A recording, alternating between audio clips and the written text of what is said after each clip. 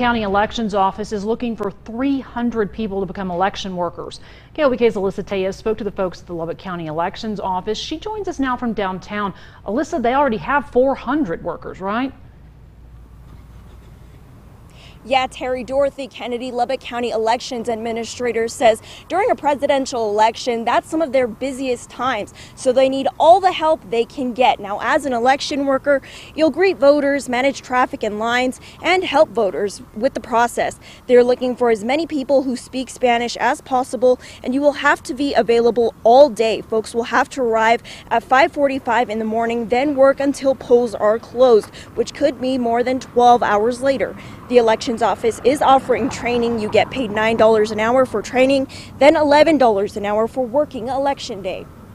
If we don't get the workers we need, then you have to look at what would happen. Uh, do you have enough to man a place, or do you need to pull that place back and not open a site? And we don't want to, that to happen in Lubbock County. We have a great number of sites, and so we want all of those to be fully staffed and to get everybody in and trained so they'll be ready to perform on November the 3rd.